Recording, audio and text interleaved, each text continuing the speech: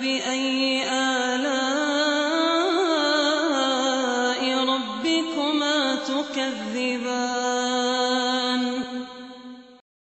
Bagaimana melihat seorang guru itu berjalan di atas panas dan akidah yang benar? Syukur. Iya. Bagaimana melihat guru itu berjalan di atas manhaj dan akidah yang benar?